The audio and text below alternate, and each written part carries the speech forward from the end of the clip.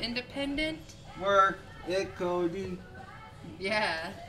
Work the work. And we'll go Cody, Cody.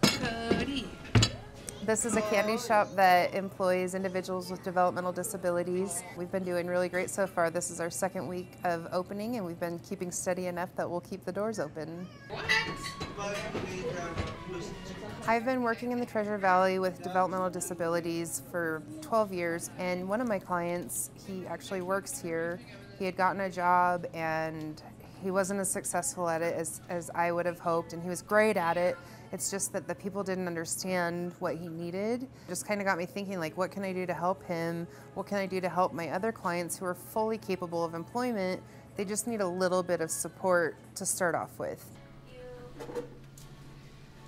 We always have an adventure here every day.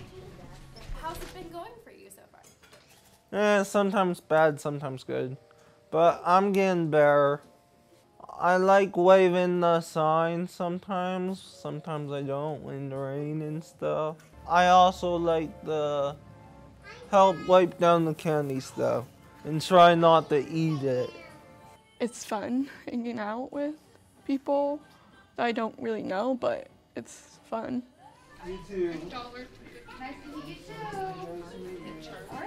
I love being able to spend the time with Zola and I love being able to provide these opportunities. Many of my employees and people that I'm not employing have reached out to me and just they've been so grateful for the opportunity and, and what I'm saying to the world is everyone needs to do this. Like employ these individuals. I shouldn't be the only one doing this. It changes these individuals' lives and it creates self-esteem and um, and it's just been wonderful.